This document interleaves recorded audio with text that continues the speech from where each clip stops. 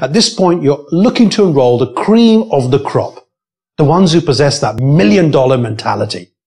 Now take out the list of names from the memory jogger and begin to sort through the names one at a time until you recognize a person who has the following characteristics. Who on my list is a go-getter, enthusiastic, positive, goal-oriented, well-respected, trustworthy, outgoing, people person, ambitious, competitive, organized, fun, motivated, and respects you.